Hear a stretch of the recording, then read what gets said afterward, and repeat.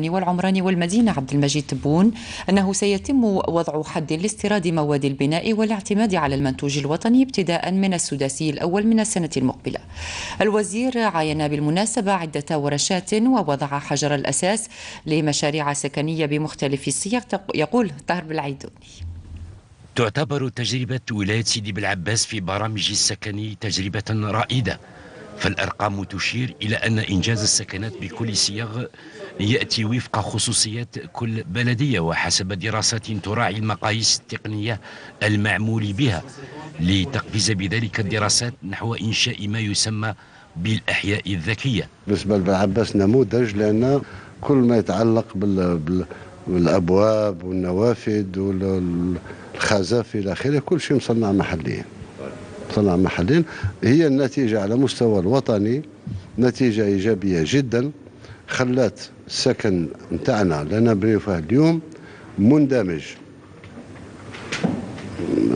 intégré pratiquement à plus de 80% عبد المجيد تبون وزير السكن والعمران والمدينة شدد أيضا على أن إنشاء المدن وتسييرها مسألة يجب أن تستند إلى مخططات ومعايير حديثة. تحافظ على النسيج العمراني وتتجانس مع المحيط. إحنا باش نتماشى مع العصر نتماشى مع العصر بالاخر أحياء أحياء نموذجية. نشوف اليوم شارع المقطع نتاع المقطع بالنسبة بالعباس. هذه محاولة تكون فيه محاولات أخرى. إحنا بالنسبة للمدن الجديدة نتاع سيدي عبد الله وتاع بوينان آه، فصلنا فيها خذينا القرار أن كل الاناره العمومية تكون بالطاقة الشمسية.